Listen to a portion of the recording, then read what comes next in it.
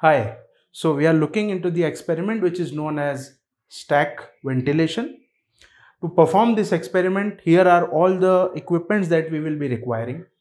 Uh, from the kit, we have the tunnel assembly here and as you can see, this is the uh, tunnel roof that we will be using.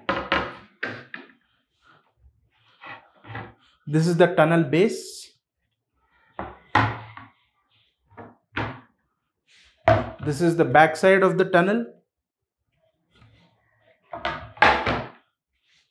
This is the front side of the tunnel which is transparent here. And these two are the side walls of the tunnel, the sides of the tunnel. Then we also have uh, the pipe which will act as a chimney uh, on the tunnel Then we have the dhoop holder here. And here we also have the hole plug for the tunnel. Additionally, we require a few uh, equipments to, to be able to perform this experiment. The first is the tea light candle.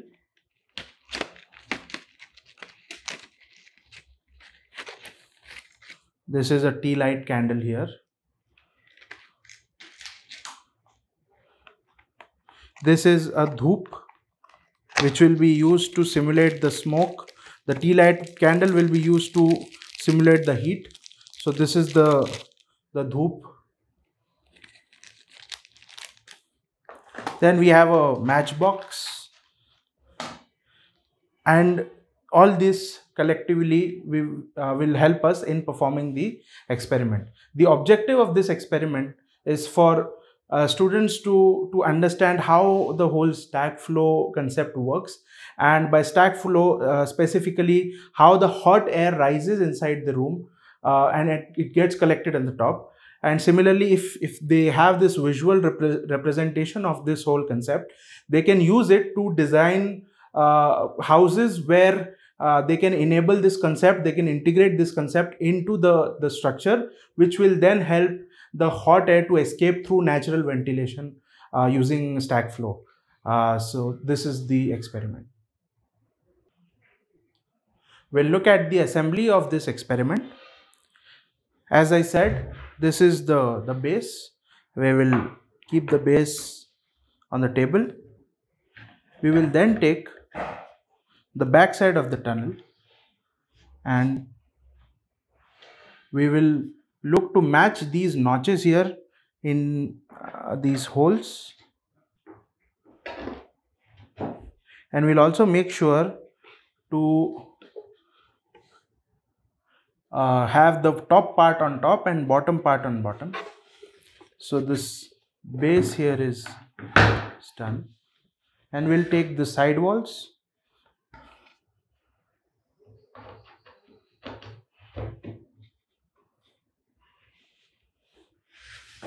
We'll take the other side walls.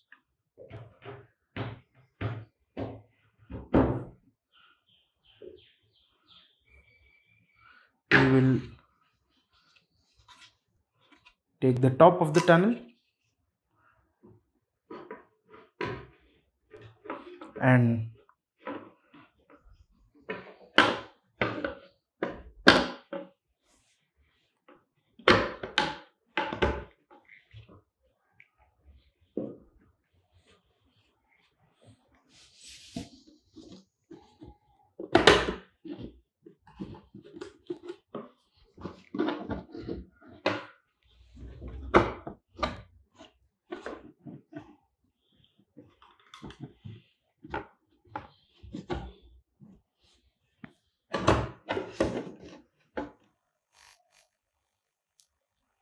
So we are looking at the procedure of the experiment now. Once the tunnel assembly is done, what I will do is I'll use the matchstick and I will take the loop dhoop holder. I will light the dhoop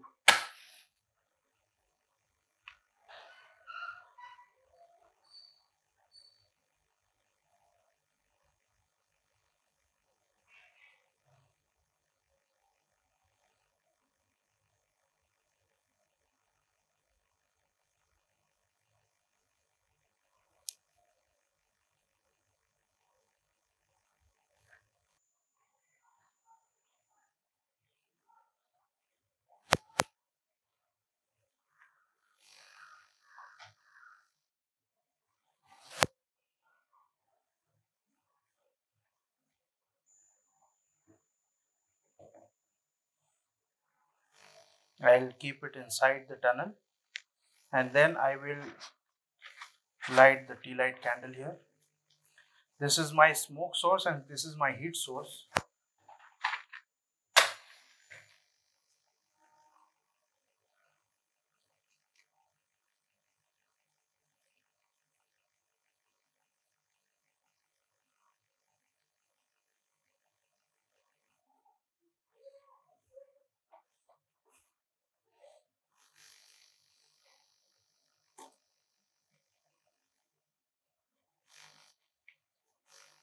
Once I have done this, I will close this off so that inside we will we can see the effect of heat and um, smoke both.